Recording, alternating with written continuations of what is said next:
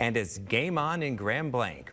The high school says their brand new esports facility is almost complete. The facility features state-of-the-art computers and other gaming equipment for those aspiring to get into competitive gaming. The principal of Grand Blanc High School said there's more that goes into esports than just playing video games. I think it's a bad rap. Sometimes people think it's it's a kid sitting in the basement playing video games by themselves, and why are we encouraging that? And it's absolutely way more than that. Um, it's the team dynamic, the collaboration, the engagement um, in something that you, you know you're a part of. He adds the students will be able to hone their skills on a wide variety of games.